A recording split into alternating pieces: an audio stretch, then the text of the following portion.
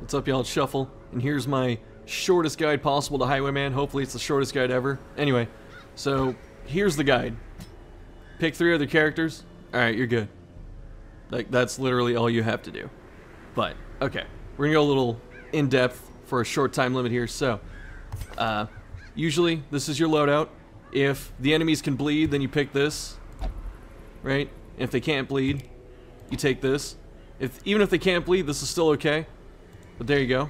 Oh, you gotta do trinkets. So, you obviously use the most busted Crimson Court set. There you go. You don't need anything else. Uh, for quirks, anything that boosts damage or speed. So, this is like a specialized damage thing, but anything that gives you damage, like unerring, slugger, all that crap. Quick reflexes, awesome. There you go. So, when you camp, you want to make sure that you press Bandit Sense and then one other thing that boosts damage because you're just trying to kill things. Uh, let's see. What else is there? Oh, we need we need people. Okay. So my preferred method is to usually give them like one healer.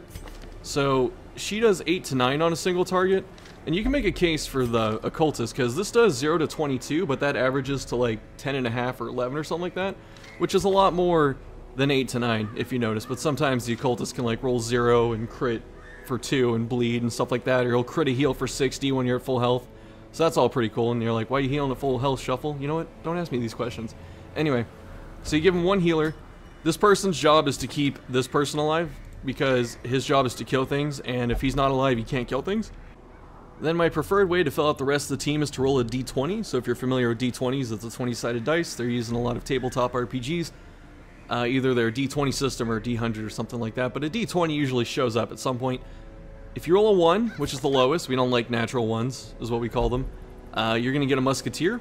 The reason being she faces sideways, which looks really terrible for her model, and she likes to clog the loot pool with her crappy trinkets that do not overlap with the Arbalest. So all she's doing is taking up stagecoach and loot space. The 18 to 20 range is going to be your critical hit range on your D20, so if you're rolling 18 to 20, so 18, 19, or 20, you can give yourself another Highwayman.